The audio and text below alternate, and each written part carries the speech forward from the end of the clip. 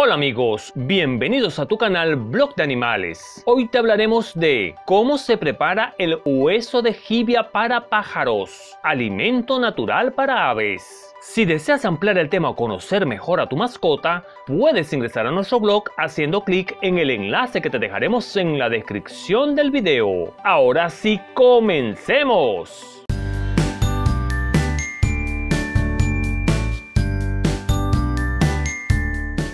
Las aves son mascotas bastante interesantes y exóticas en algunas cuestiones. Se caracterizan por ser animales muy afectivos e incluso cariñosos con sus dueños. Por otro lado, estas pueden llegar a tener necesidades un poco extravagantes y difíciles de buscar. Un claro ejemplo de dichos objetos es el famoso hueso de jibia, el cual posee múltiples funciones para casi cualquier ave. Pero, ¿qué usos tiene en la salud del canario el hueso de jibia? Este es completamente rico en múltiples sales minerales. Además, posee un nivel bastante alto de calcio, lo que lo hace indicado para las aves. Otro uso importante del hueso de jibia es que sirve como afilador de picos. Los pájaros suelen utilizarlo para afilarse y perfilarse en esta zona. El objetivo de ello es poseer una herramienta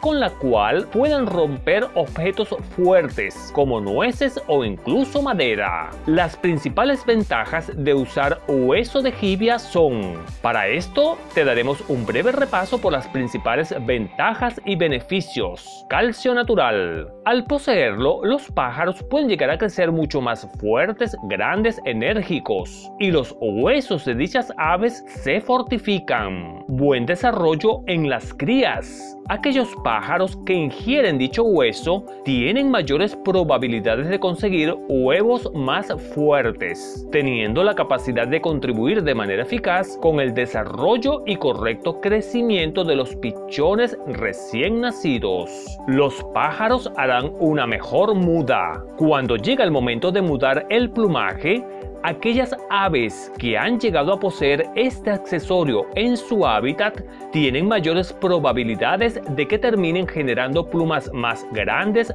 fuertes y coloridas. Debes tener en cuenta que este hueso debe ser limpiado y preparado. A continuación analizaremos diferentes métodos. Número 1. Método con lejía. Para proceder con dicho método debemos tener una cubeta con 5 o 6 litros de agua, un jarrón de lejía, unos guantes, un tapón y una cuchara. Ahora añade en la cubeta los huesos de jibia. Espera entre 30 a 40 minutos como máximo.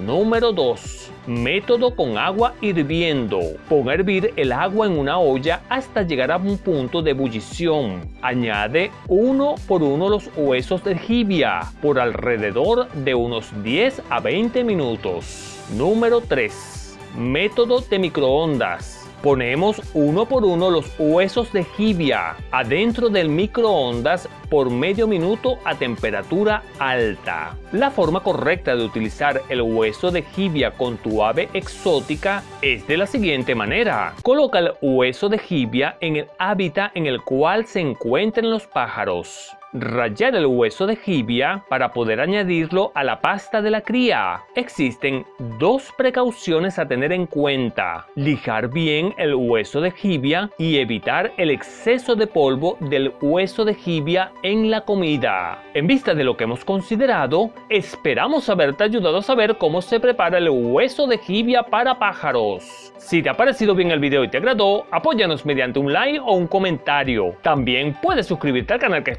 gratis y activa la campanita de notificaciones para que YouTube te avise cuando subamos nuevo contenido. Hasta la próxima amigos.